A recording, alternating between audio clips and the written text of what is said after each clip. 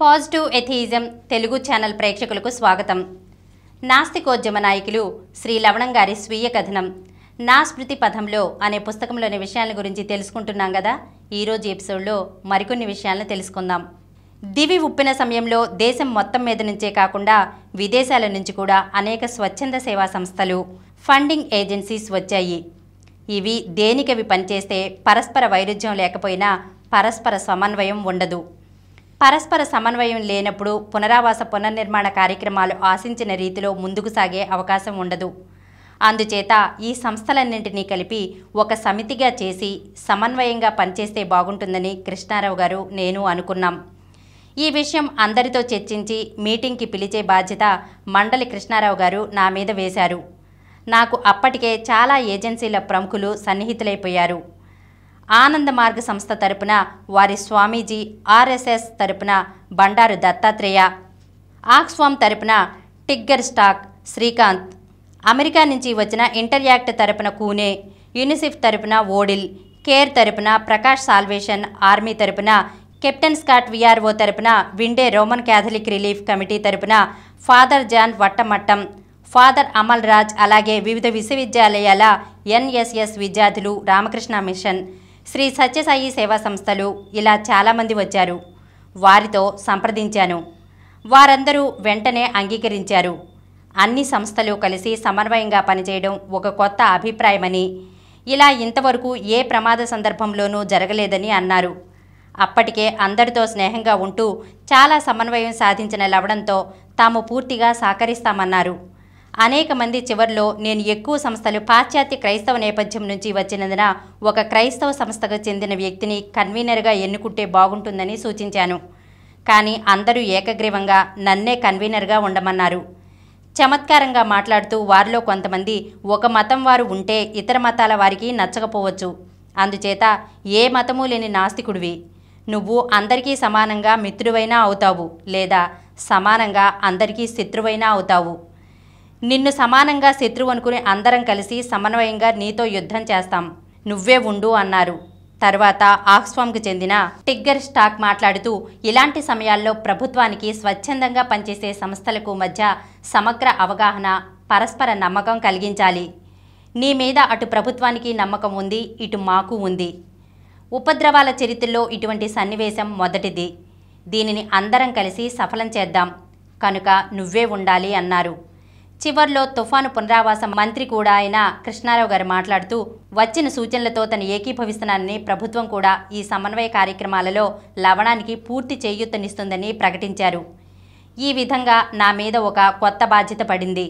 నేను కన్వీనర్నైతే నా ఆఫీసు నేను పెట్టే మీటింగ్లు నాసిక్ కేంద్రంలోనే ఉంటాయని అందుకు ఎవరికైనా అభ్యంతరం ఉంటే ముందే చెప్పమని కోరాను. అందరూ ఏకగ్రీవంగా తామెవరికీ అభ్యంతరం లేదన్నారు.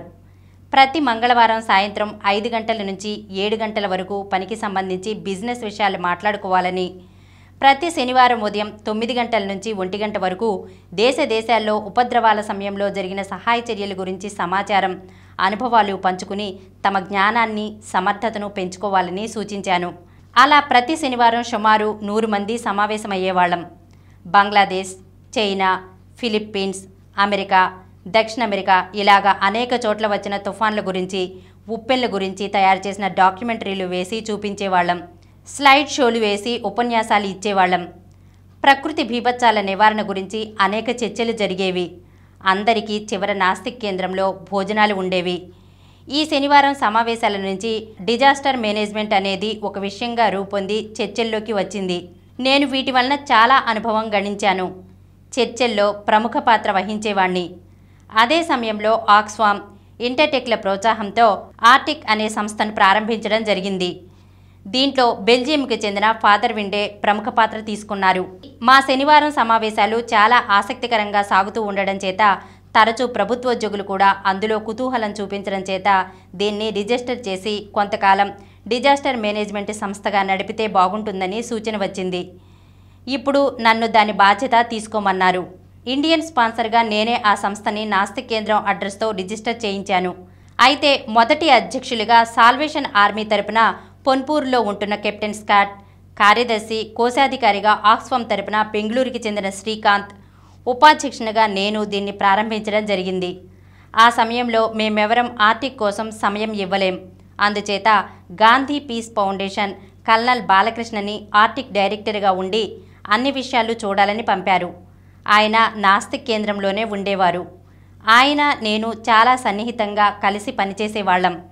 ప్రధానంగా ఆర్టిక్ గాలివాన్ల తాకిడికి నిలబడగలిగే పాకల గురించి పరిశోధన చేసి గ్రామాలలో ప్రచారం చేసేవాళ్ళం. ఇతరులకి నమూనాగా చూపించడానికి అలాంటి మొదటి పాకని నాస్తిక్ కేంద్రంలోనే వేశాం.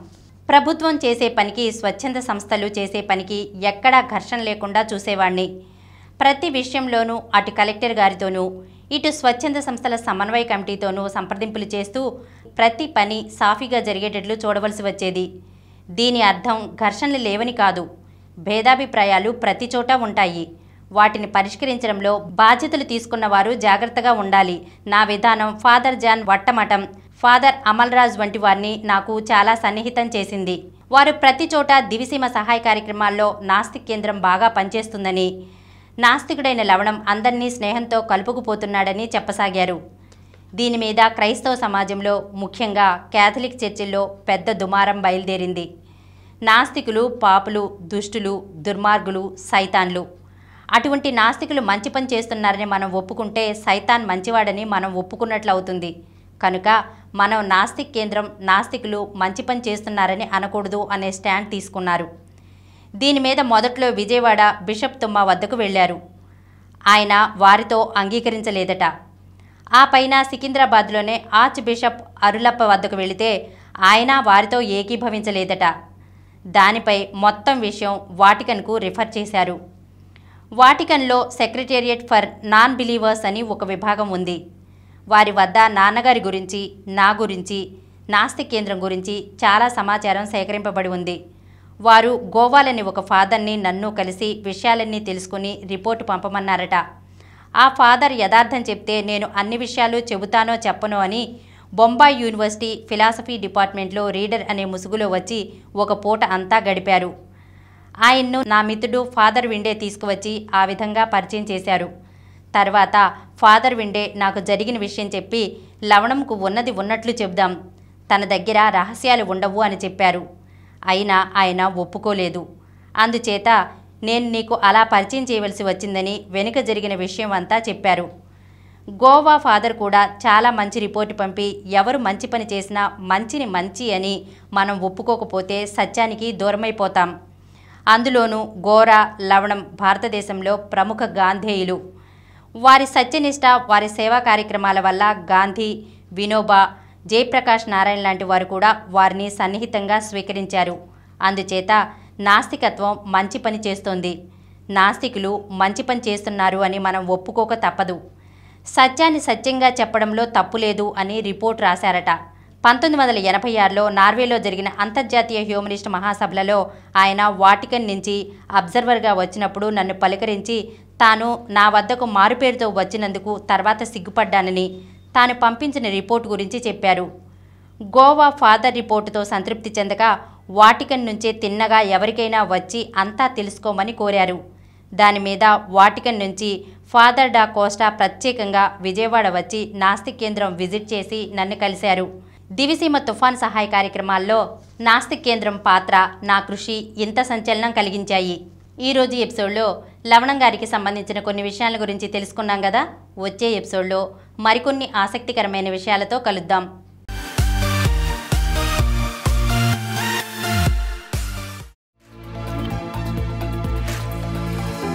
Please download Samaram multi channel app and watch your favourite channels from your mobile app available on Google Play Store and subscribe to the channels channels